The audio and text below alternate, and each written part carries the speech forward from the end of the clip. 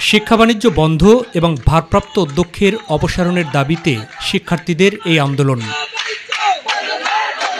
বরিশাল জেলার মেহেন্দিগঞ্জ উপজেলা সদরে সরকারি রশিদচন্দ্র কলেজ বা আরসি কলেজে আসন্ন উচ্চ মাধ্যমিকের পরীক্ষার্থীরা প্রবেশপত্র সংগ্রহ করতে গেলে তাদের কাছ থেকে পাঁচশো টাকা করে দাবি করা হয়।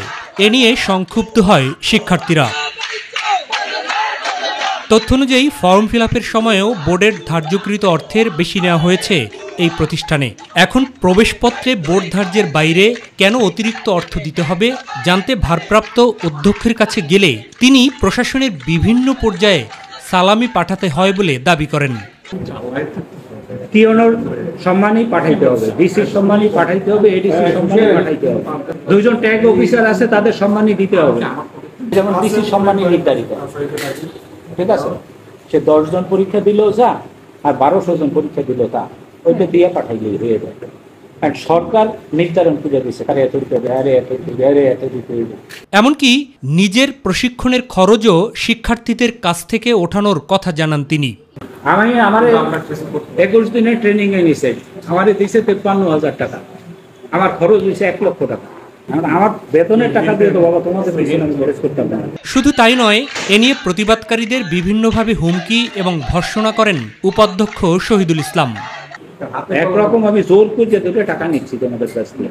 তোমরা সমঝোতার পথ বন্ধ করে দিলে তোমরা ক্ষতিগ্রস্ত হবে। যদি আমরা যদি পাঁচশো টাকা দিয়ে যদি অ্যাডমিট কার্ড না নিতে পারি।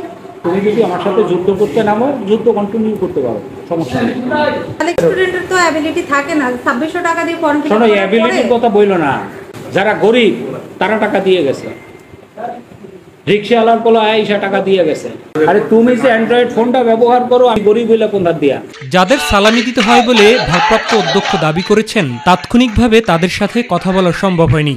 তবে এই অনৈতিক কর্মকাণ্ডের জন্য ভারপ্রাপ্ত অধ্যক্ষ সহ সংশ্লিষ্টদের অপসারণের দাবি জানিয়েছেন শিক্ষার্থীরা। মানে তিনি আমাদের থেকে নানানভাবে টাকা নিতেই থাকে। আমরা একটা সরকারি কলেজ হিসাবে কোনো সুযোগ সুবিধা পাই না। মানে ওই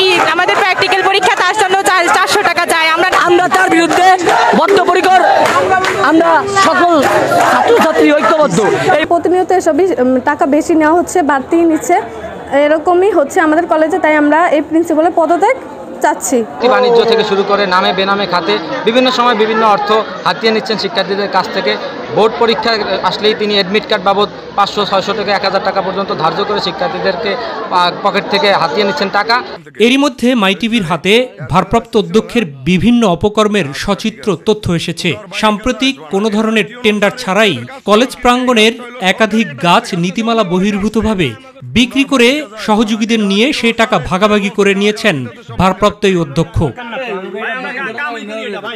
Mahbub Saikat My TV Mehendiganj. সরকারি এটা গাছে গাছটা সে অন্যভাবে কাটছে।